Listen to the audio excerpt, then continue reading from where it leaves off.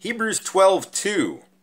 Looking unto Jesus, the author and finisher of our faith, who for the joy that was set before him endured the cross, despising the shame, and is set down at the right hand of the throne of God. Hebrews 12:2